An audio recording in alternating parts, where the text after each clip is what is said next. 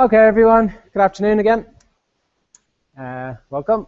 Um, so at the end of yesterday morning, the end of yesterday morning, um, so we did the, the final topic in the differentiation chapter um, yesterday morning by looking at some uh, examples of kinematics problems. And then I finished uh, yesterday morning's session by, and you can find a link to it here from the top of the uh, G plus page. We did a, we started to investigate what's going to be a, a motivating example for us for looking at uh, group theory. Okay, so group theory is this final chapter which we have to have to do in my half. And just very, very succinctly, what is a group? A group is a mathematical object. It's a set, a certain set of elements, and it's it's in the situation where you have an operation on those elements, a so-called binary operation, which takes a pair of elements from the group, takes an ordered pair of elements from the group, combines them to give you a third element. Okay, and these things called groups crop up in lots of areas of mathematics, and the operation and the type of elements that you have in your group can take many different forms. Okay, um, from numbers and number-like objects to vector-like objects, matrix-like objects, or function-like objects, and lots of different things. Okay.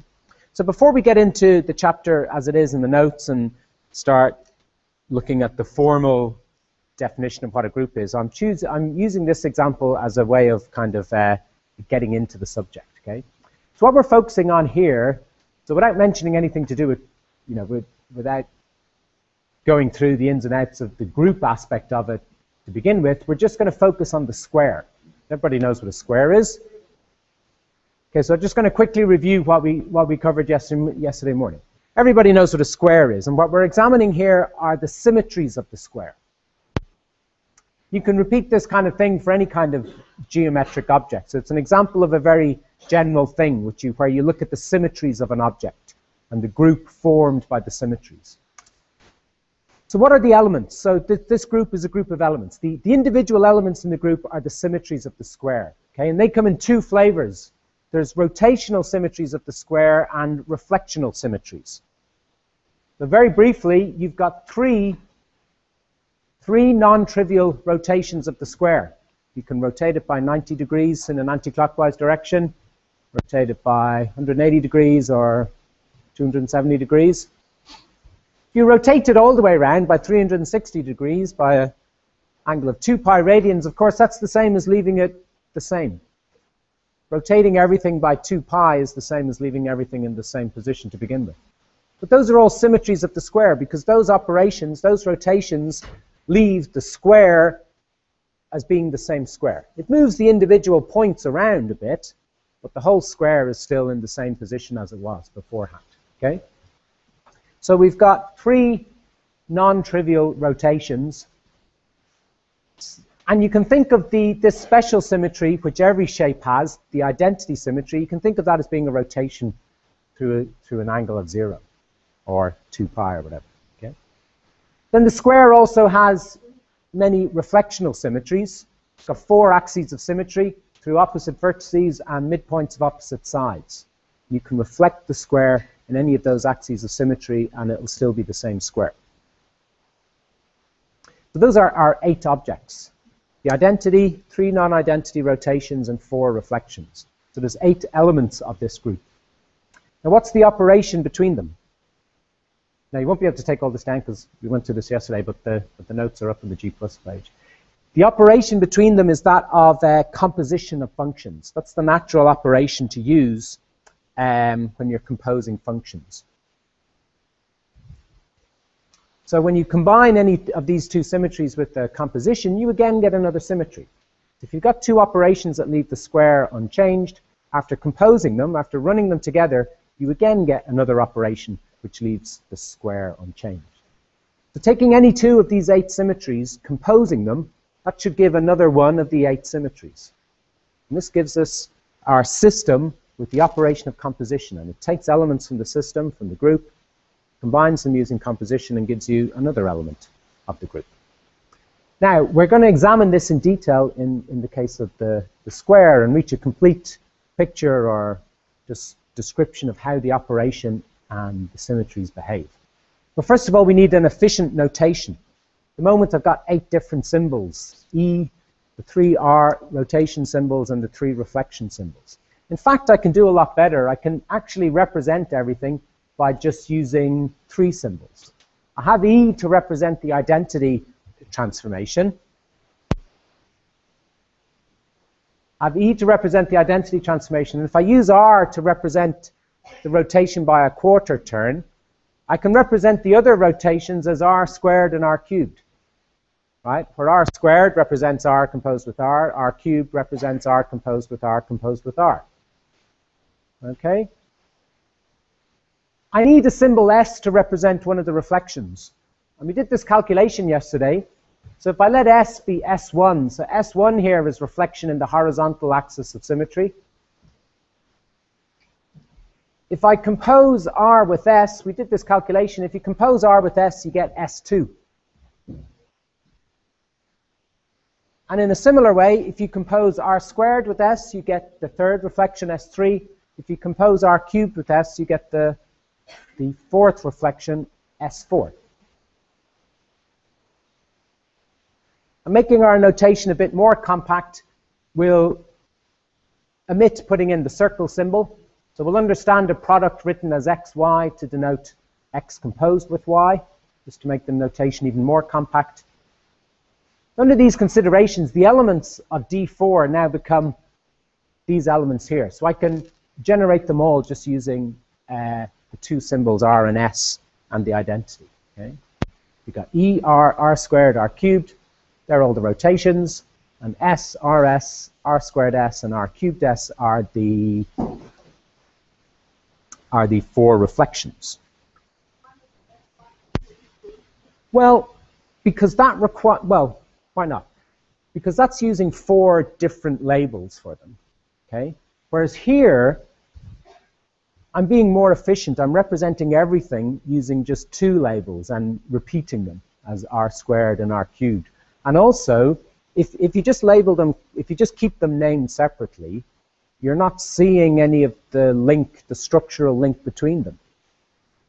Whereas, so if you stick with the label R and S1 and S2, you're not seeing what the link between them is. And, and the link between them is, is that when you compose R after S, you get another one of the reflections. So it's kind of best to see that represented in the notation that you use.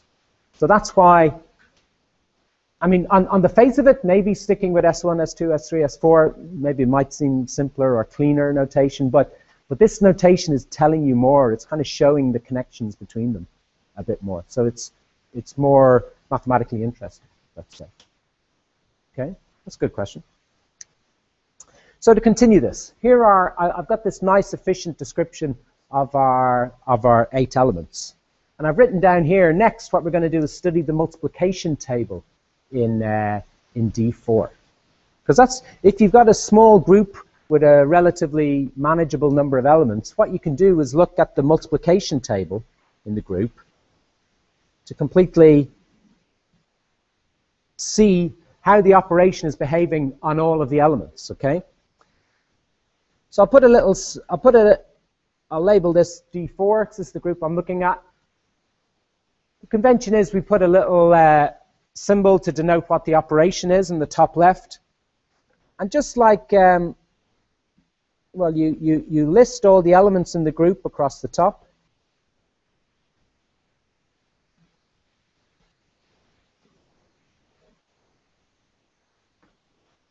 as labels. God, this takes ages to appear each time as labels for the columns.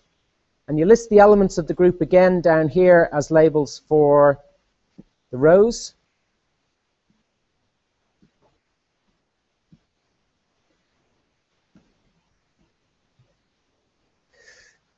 We just keep the chatter down a bit. It's quite it's getting a bit too loud. Thank you.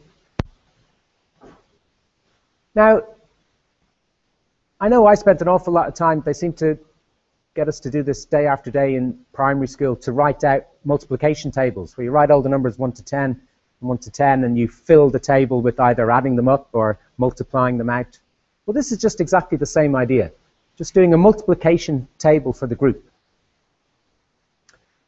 But because of the remark we've made already about symmetries, I've said when you compose any two symmetries of the square, you get another symmetry of the square.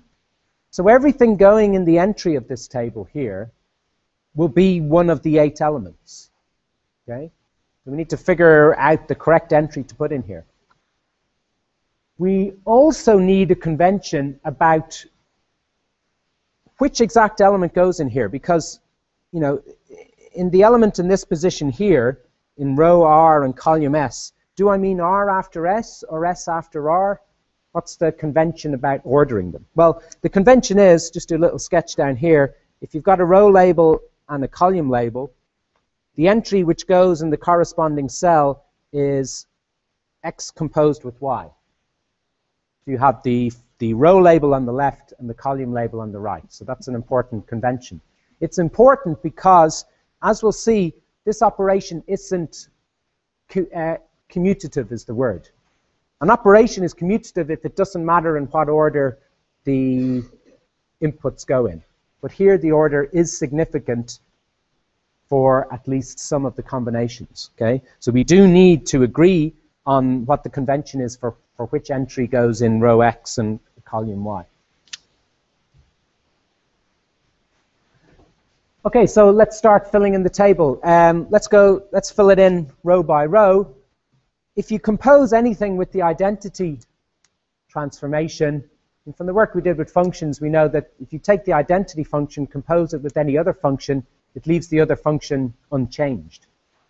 So all of these elements across here are just the column labels repeated.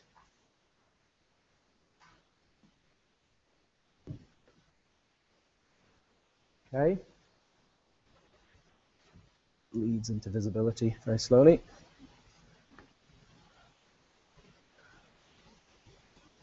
Okay, let's look at the second row. Now we want to compose, we want to do R after, so taking this R here, we want to do R after each of the column headings. So R after the identity. If you do the identity first and then rotate it, well, that's just the same as rotating it, because the identity leaves it completely fixed. R after R, if you rotate it by a quarter turn and then rotate it by a quarter turn, well, you've rotated it twice by a quarter turn. That's the rotation r squared.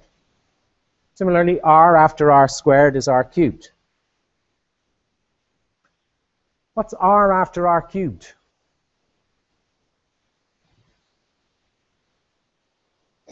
E.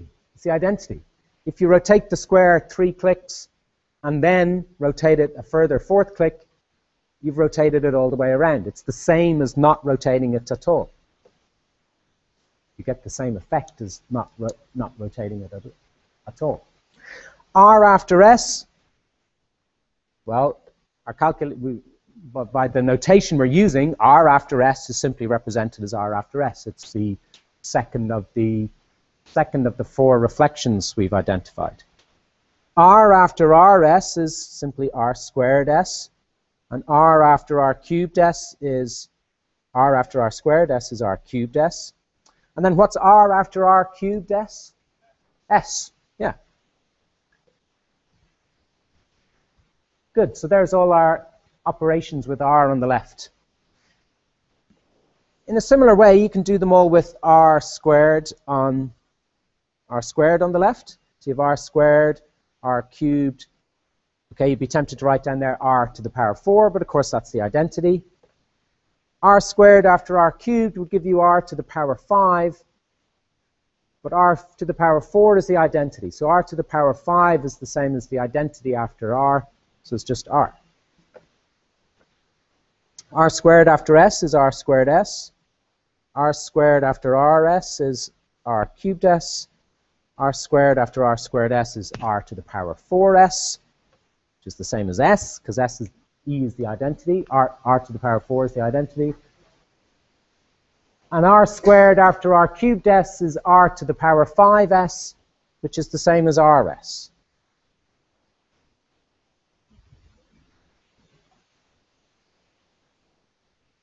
Okay, so quickly fill in the, uh, the next row yourselves.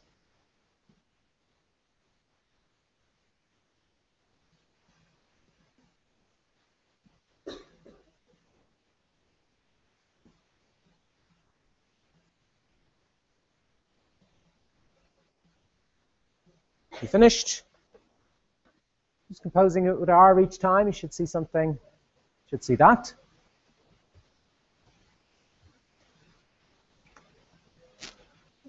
Okay, it hasn't been too hard so far because we've been composing things with rotations.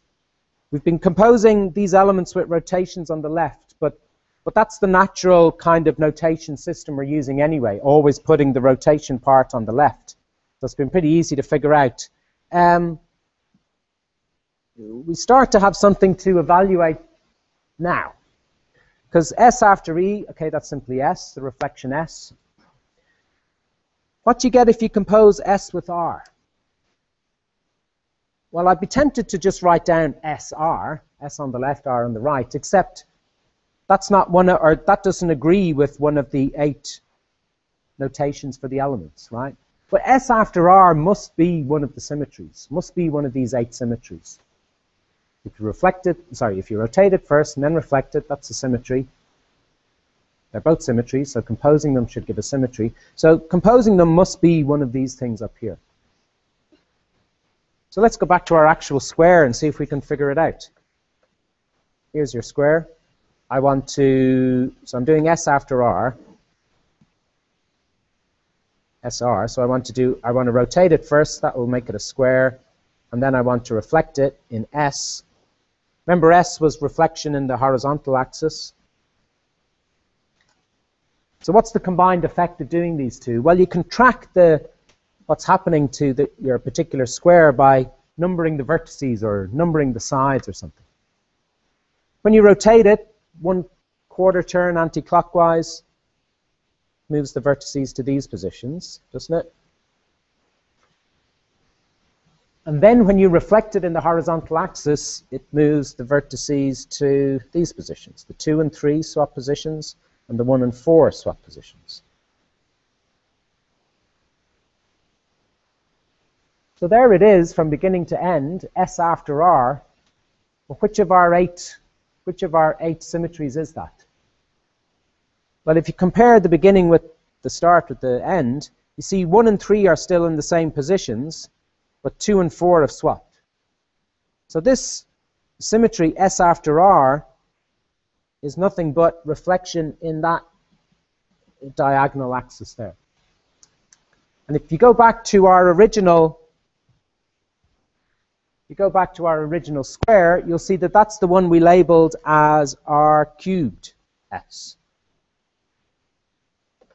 This is the one we labeled as S um, so we had S1, S2, S3. That was the one we labeled as S4. But it's the symmetry R cubed S. Another way to think about it is R inverse S. It's the same as reflecting it in the horizontal axis. So if you look at R inverse S, got one, two, three, four. First you do S, which reflects it in the horizontal axis. So you have 2 here, 1, 3, and 4. What do I mean by R inverse? By, by R inverse, what's the operation that undoes a rotation of a quarter turn anti-clockwise? We just rotate it back, rotate it a quarter turn clockwise.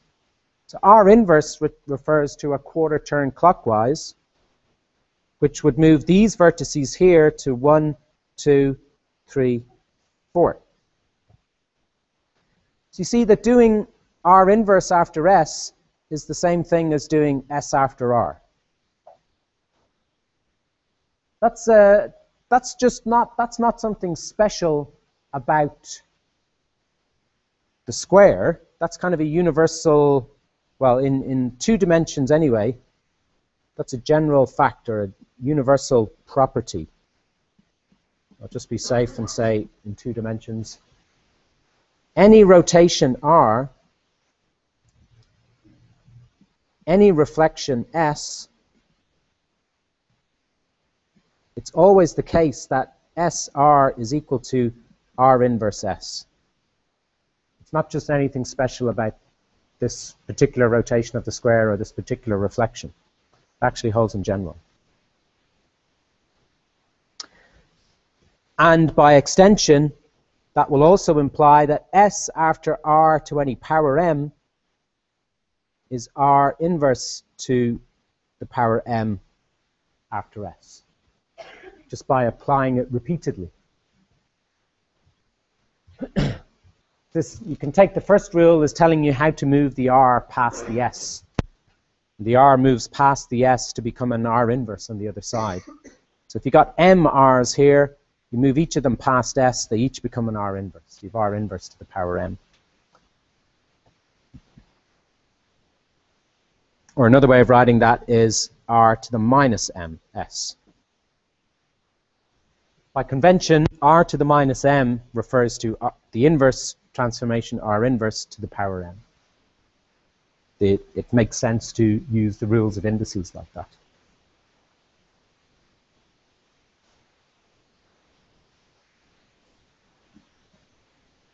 That's just a convention. By, by convention, any, well, it, it holds the same for any function. Uh, r to the minus m is the same as r, the inverse transformation r inverse to the power m.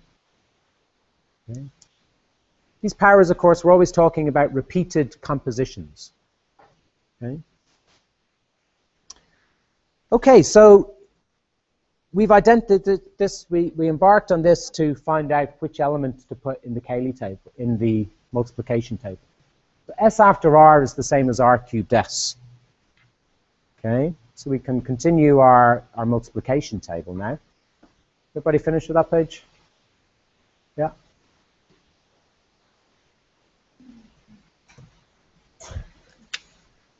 So S after R is R cubed S.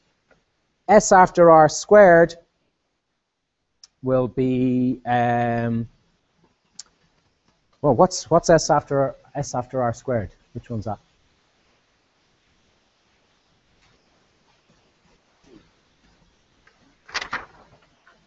E? It's not E. If you compose a reflection and a rotation, it has to be another reflection. It's R squared S, yeah. Because the R2, S after R squared, it becomes R inverse squared S, but that's just the same as R squared S. The inverse of the inverse of R squared is just R inverse squared. Okay?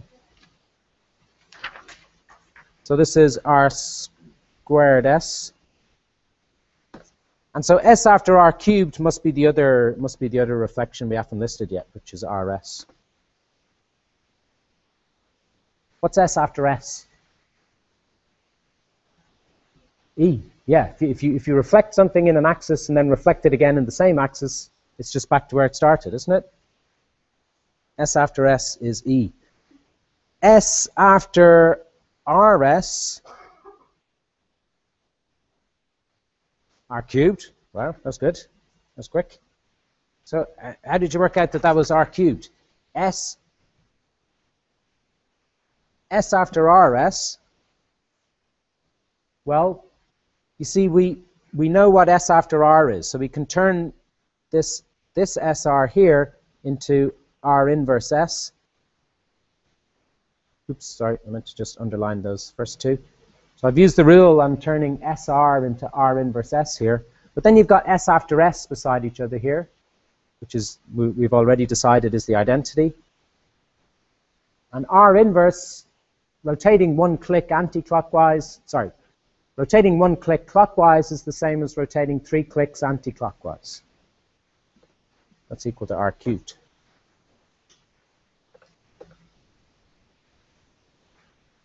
That's r cubed. S after r squared s is going to be um, r squared.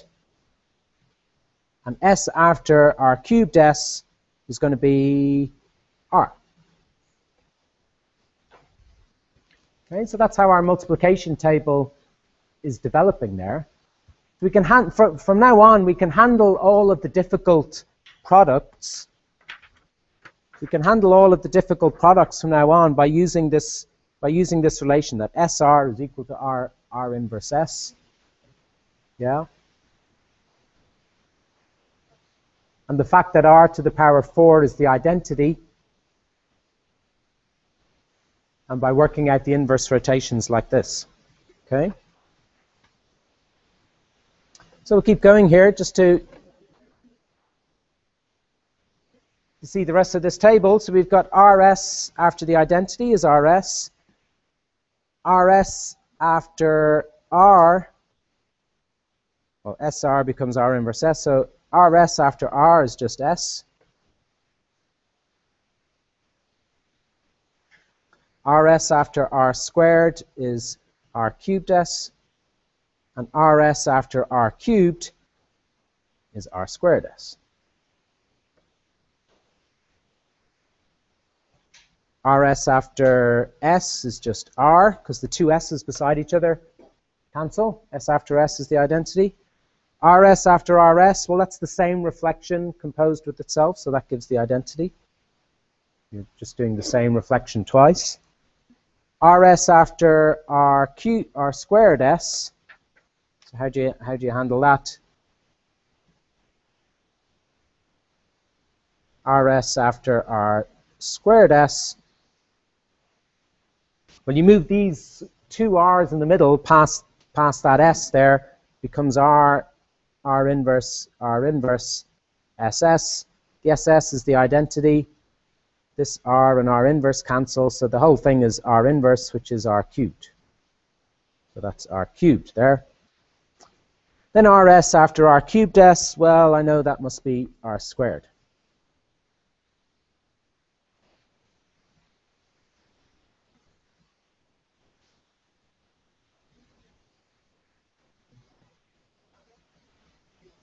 Okay, so why don't you just take a just take a minute or two, two, three, four minutes maybe, to figure out the last two rows.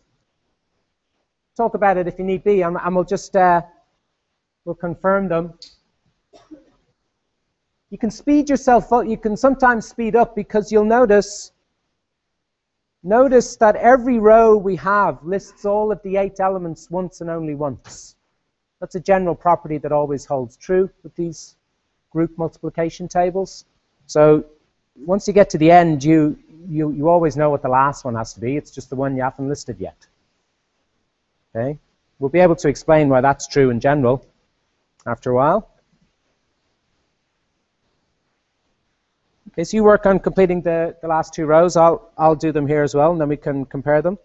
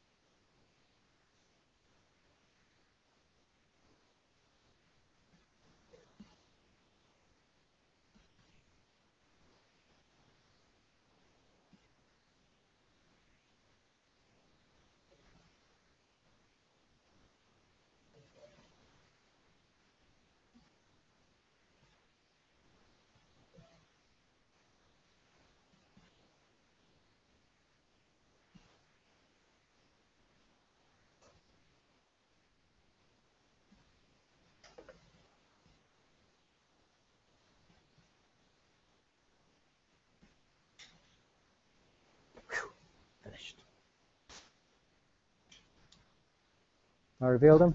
You finishing them?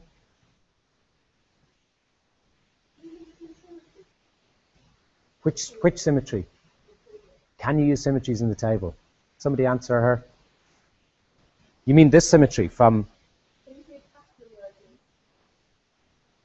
Well, can you? Kind of. There, there, there are several patterns here. Sorry? The, four separate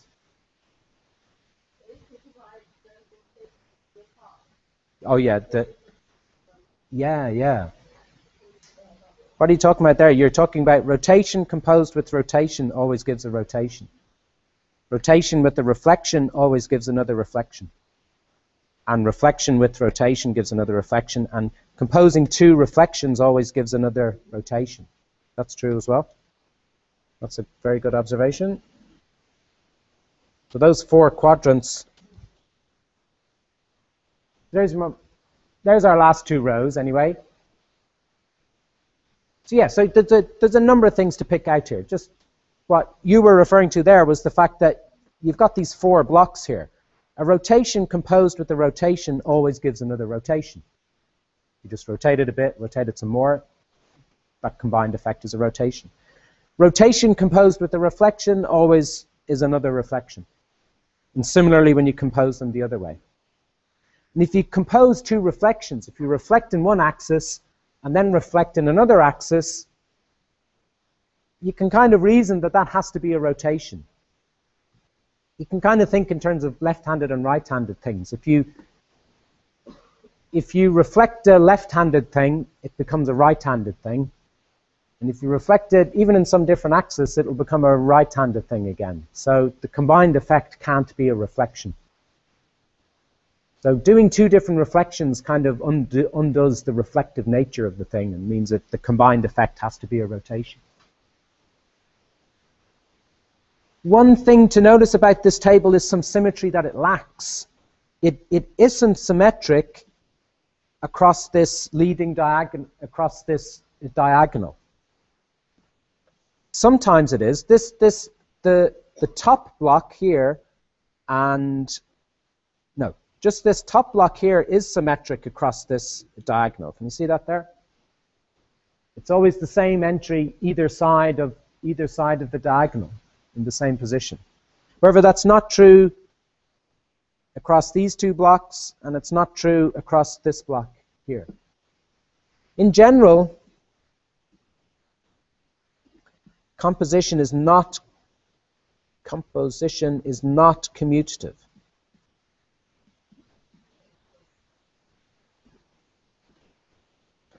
That means in general, i.e. when you take x composed with y, in general, that's not equal to y composed with x. It will be in certain special circumstances. We've already seen if you, well, yeah, if, if, you, if you have two different two-dimensional rotations around the same fixed point and compose them, they will always be the same no matter what which order you do them in. But in general, in general, not. Yeah.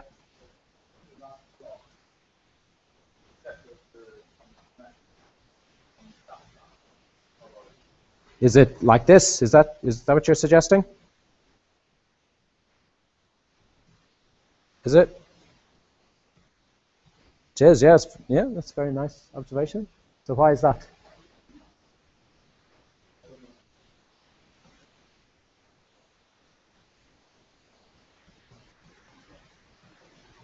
I mean, this, so if you're matching this r cubed here with this r cubed here, Well, there are different pairs of elements that you're composing. So it's, maybe it's not so not so immediately obvious how to describe that symmetry. Well, it's a very good. Uh, okay, so it's it's a it's a nice observation. Be interesting to see if that's also holds true in other dihedral groups. To be honest, off the top of my head, I don't know, because you'd have to think a bit about how to precisely describe that. So just the term dihedral, so I've done this thing for the square. You can obviously repeat it. Okay, so can also study the symmetries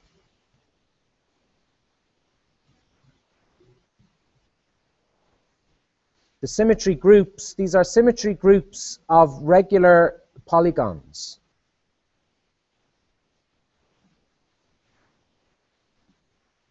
The regular polygons are the regular n-sided figures. So you've got the regular triangle, the square, the pentagon, the hexagon. Many names do you know? Heptagon is 7, octagon is 8. Nonagon? Nonagon? Decagon? 10. What's 11? There is no, what? What's 12? Do you know 12? Dodecagon. I think there's a whole menagerie of these names. I'm not familiar with many of them. So this is for index 3, index 4, 5, 6. And the groups are called, in just the general term for them are is dihedral groups. Um, the one we've done is, is the square. It's called D4. D3 would be for the triangle. D5 for the pentagon.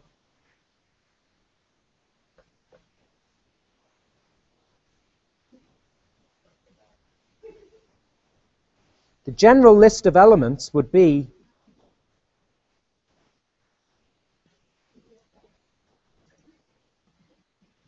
listing the elements follows the same pattern as for the square. You will always have the identity. You will always have rotate. You will always have a basic rotation. Now, what's that? What's that basic rotation? If you're talking about the n-sided regular polygon, this will be rotation by 2 pi over n. That will be rotating your n-sided polygon one click anti-clockwise, say. Then you will have r squared, two clicks, r cubed, all the way up as far as rn minus 1. You don't need to write down r to the power n. When you rotate the thing n clicks, that's rotating it all the way around. That's the same as the identity. So that's already listed there, so you don't need to list it again. You'll have one. you'll have a reflection S. This is any named reflection. When I set up the one for the square, I named S as the reflection in the horizontal axis. There's nothing special about the horizontal axis. Could have chosen any of our any of the other axes of reflection. The other reflections then you can represent as RS, R squared S, etc all the way up as far as Rn minus 1s. So in general, the, the elements follow the same pattern as they have done for the square. You've got n different reflections, and if you count the identity as an honorable rotation, rotation by zero degrees, you've got n, n rotations.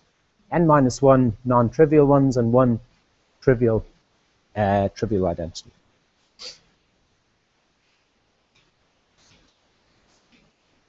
So this is our first example of, of a group or a, a family of groups. They're these systems of elements with, an with a natural operation between them. This is compositions, composition of the, of, the, of the symmetries. And so what are we going to study in this group theory, group theory chapter? We're going to look at groups in general. Groups arise in number of different contexts. Contexts. Number-like groups, groups of functions as the objects, groups with matrices as the objects, groups with vector-like things as the objects. So in lots of different lots of different contexts. And group theory, I guess, is the study of what's common to all those different contexts. What general facts or what general things can you say about systems of elements combined with an operation? That's that's the study. That's the study of group theory. Um, but before we leave it, I just want to illustrate some of the illustrate one idea. So with your table of D4,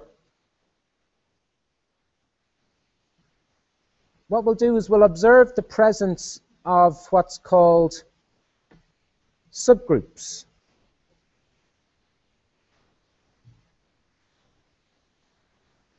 What's a subgroup? A subgroup is like a little group living inside the big group. Okay?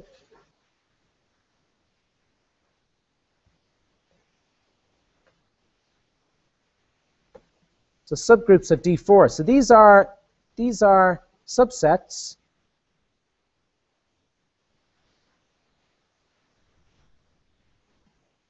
subsets of elements that behave as small groups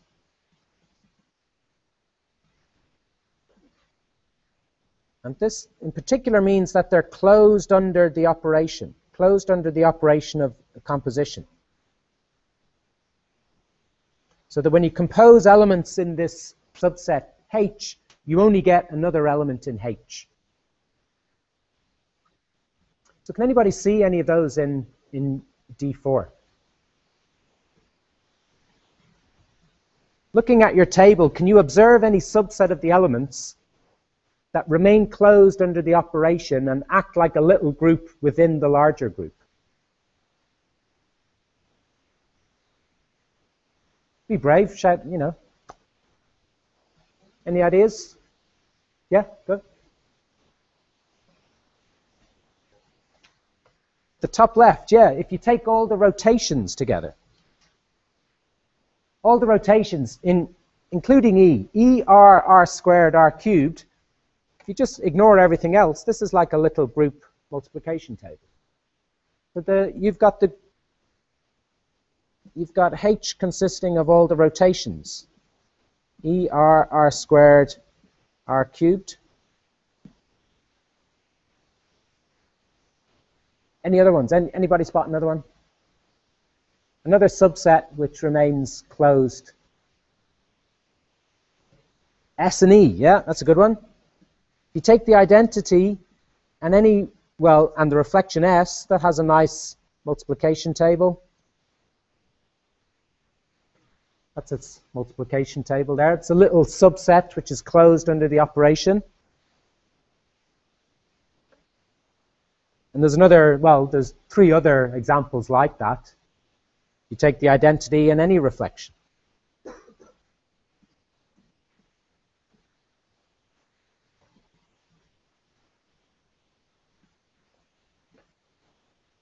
Yeah?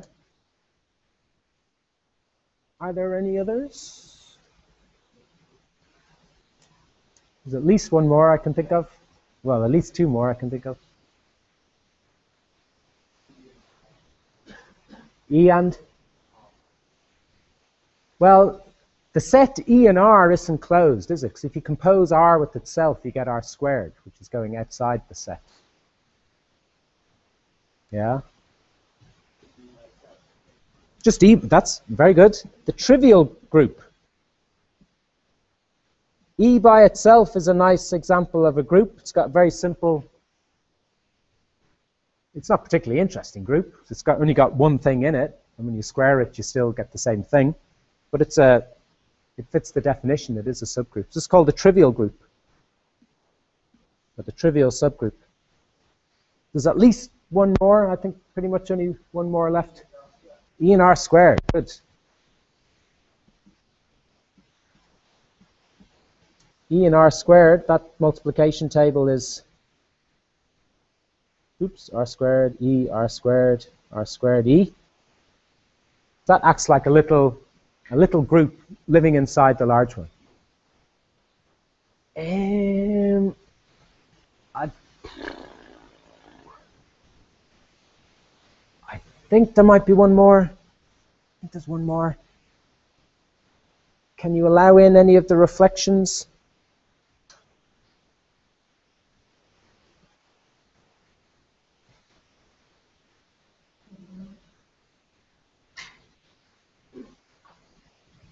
Oh yeah, there's one more hidden in there. There's one more example. I think you can take E r squared s and r squared s.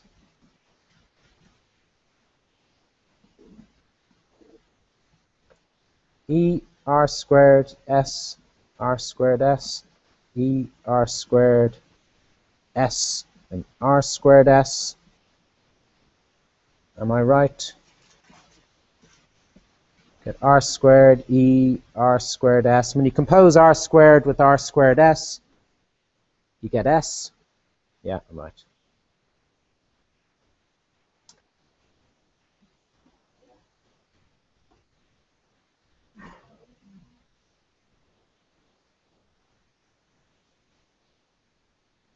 So this is r squared s, uh, s, uh, r squared, and e. That's, that's the last subgroup. I wonder is this enough, I wonder is there enough here to to um, this this neat this kind of illustrates the, the very last thing we're going to do in the group chapter. Very last thing we're going to do in the group chapter is prove uh, an important well a very nice general result which applies to all groups, all finite groups. It's a it's a result called uh, Lagrange's theorem. What do you notice about the size of these subgroups? What sizes are we seeing here? Well, we're seeing a, well, the trivial one is one element. You've got some examples with two elements and some examples with four elements. One, two, and four are the only sizes of elements we're seeing there. They relate to the size of the whole group. In the whole group, you've got eight elements.